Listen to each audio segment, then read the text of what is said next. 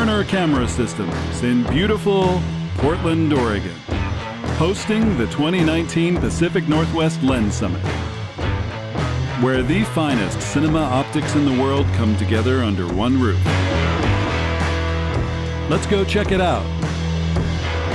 What we have here is the Prototype 25 from Atlas Lensco. So here we have a new uh, 12 to 1 Optimo Ultra lens. So I'm here to talk to you about Canon's new line of Sumire Prime lenses. Here is the brand new Cooke Anamorphic Full Frame Plus lens. We have our clamp on 114 Hayden M2016 motor bracket, multi-mount at the back here, our 1.7 times expander. What we call the Premista lens. Especially the 40 millimeter are the first lenses that Sigma has actually designed with Cine in mind. 18.5 Angenieux, used on Touch of Evil, Baltar lens from Bausch & Lomb. These were used on many American films, probably films from the 30s, 40s, 50s. The 2001 lens that was used on 2001 Space Odyssey, a C-series anamorphic Panavision used on Chinatown, a Super Panatar used on Lawrence of Arabia, and finally on Ben-Hur, a process Panatar that was used on the MGM 65 cameras.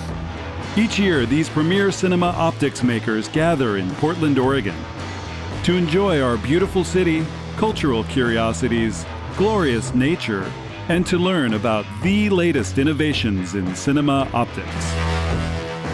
Learn from the experts at the Pacific Northwest Lens Summit.